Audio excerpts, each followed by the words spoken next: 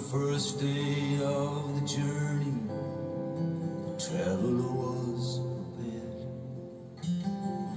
Words of consolation were never heard.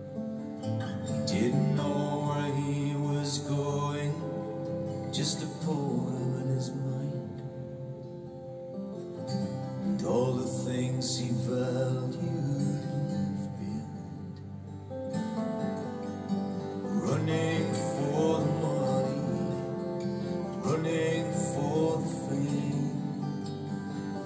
Lost where he was going and forgot his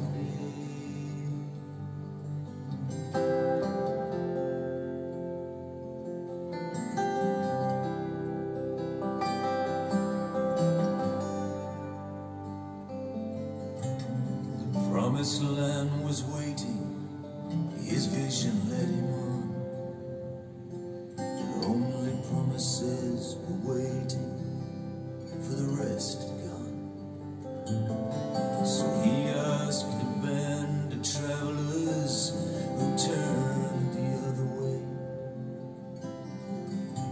left him in the wilderness.